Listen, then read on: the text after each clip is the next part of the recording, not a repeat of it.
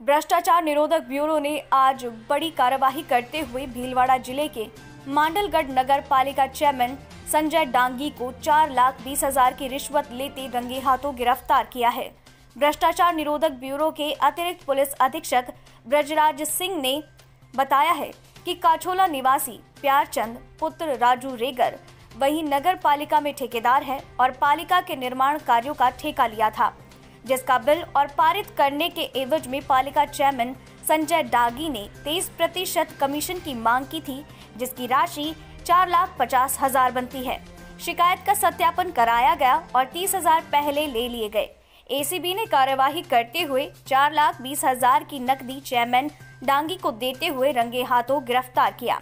इस कार्यवाही में एसीबी के अतिरिक्त महानिदेशक दिनेश एमएन के निदेशक आरोपी के घर और अन्य ठिकानों पर तलाशी की कार्यवाही जारी है।